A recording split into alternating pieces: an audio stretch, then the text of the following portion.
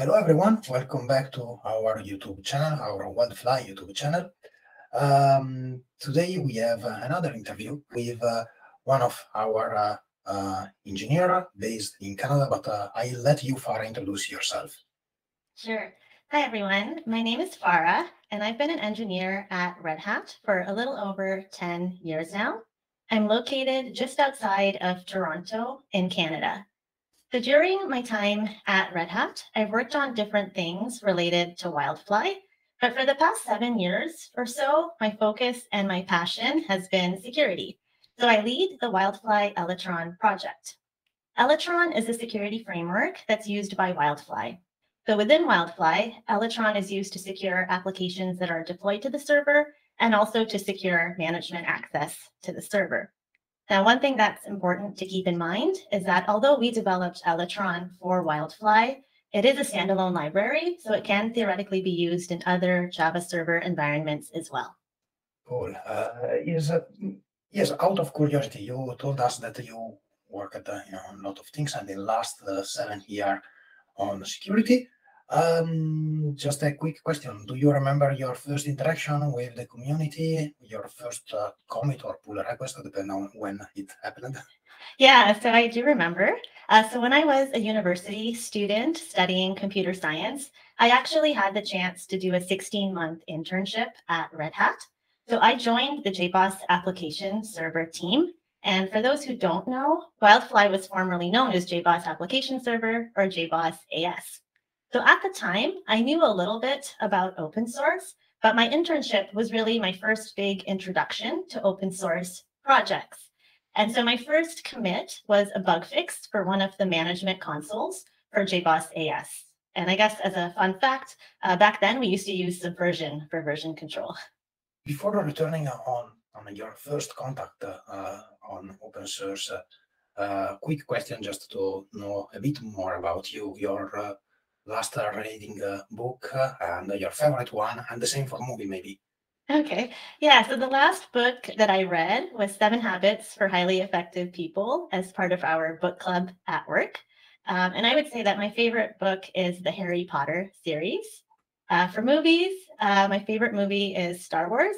And the last movie that I saw was Murder on the Orient Express. Okay, great choice about the movie, but well, also on the book. But uh, which one uh, from Harry Potter saga? The first one.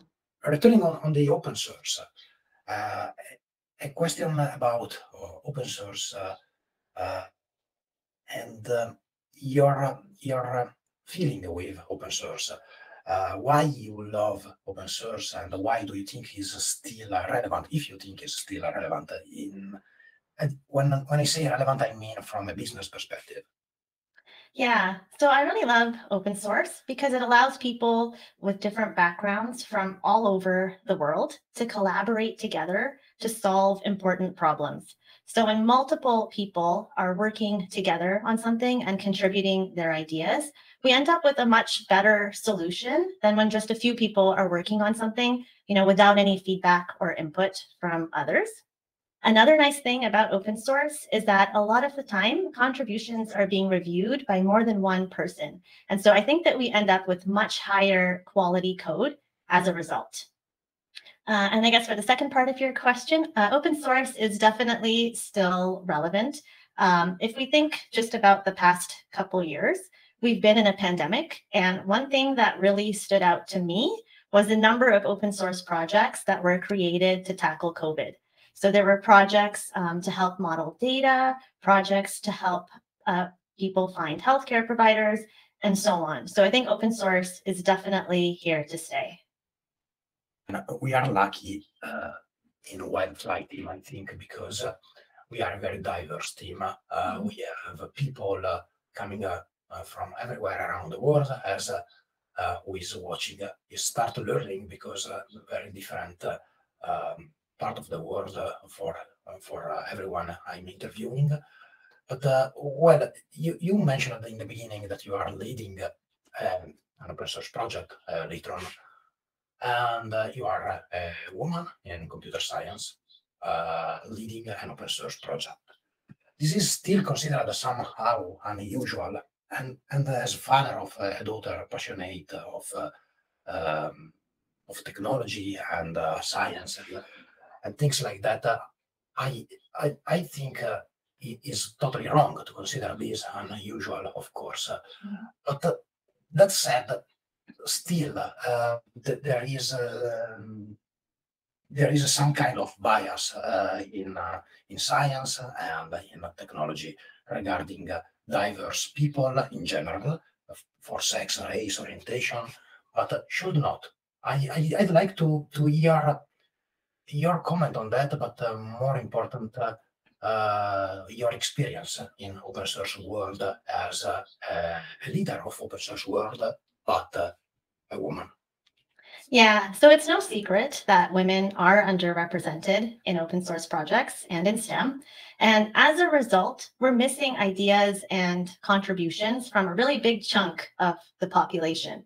Um, so I think that it's really important that we all try to work together to increase the number of contributions that are being made by women.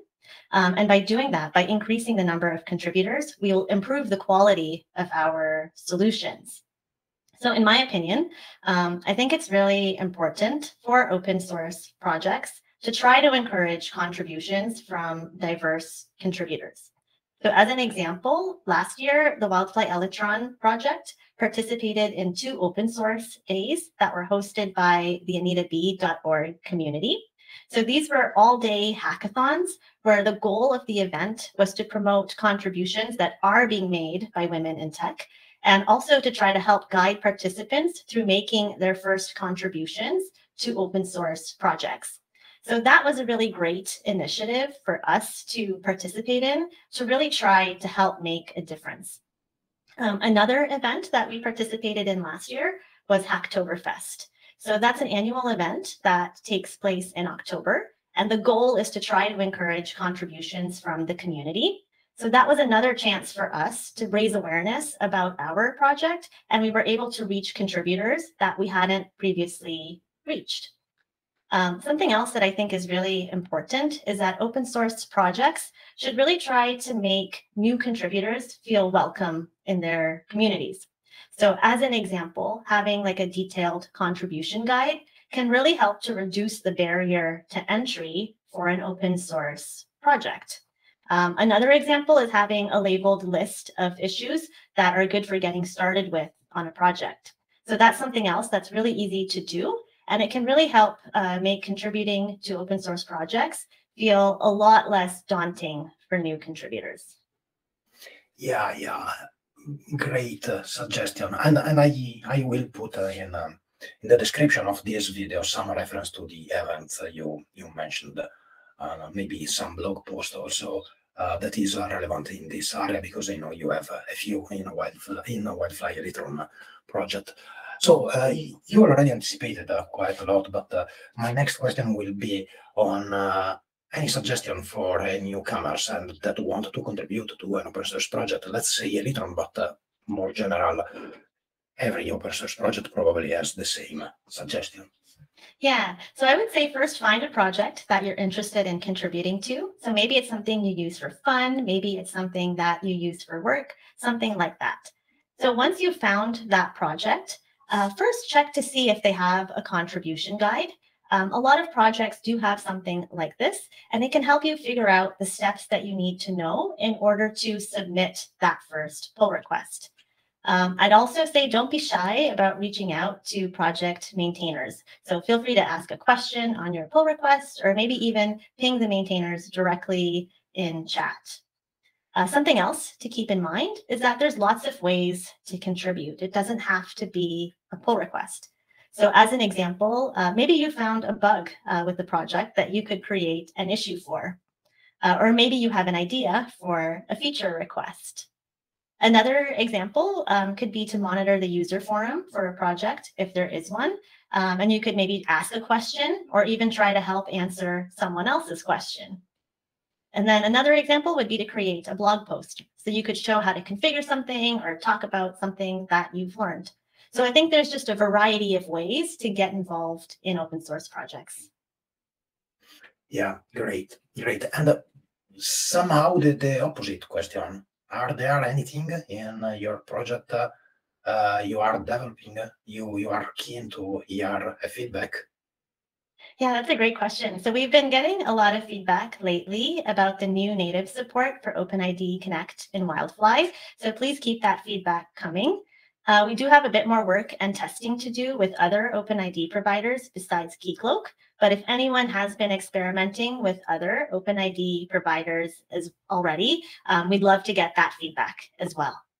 Okay, thank you. And the very last question, um, your last contribution to community, yours or your team last contribution to community? Yeah, so speaking of OpenID Connect, um, I have a blog on this channel that shows how to secure an application deployed to Wildfly on OpenShift with OpenID Connect. So be sure to check that out. And also, just to mention, uh, we also have another recent blog from Diana Krepinska. She's another Elytron team member, and she's just added a video on how to use Let's Encrypt with Wildfly. So be sure to check that one out as well. Yes, yes, yes. It's a great video too. And so I think we are uh, we are good with this interview. You you gave us a great insight on open source and on the Elytron project. In the description, you will find all the reference to the project if you want to contribute or to reach out Farah. Uh, as, as she said, don't be afraid to reach out her to ask any guidance. And don't remember to subscribe. Subscribe this channel because, uh, uh, as we mentioned, there is also some good uh, guide, video guide to to use the new features and other interview and have fun. Thank you again for. Thanks for having me.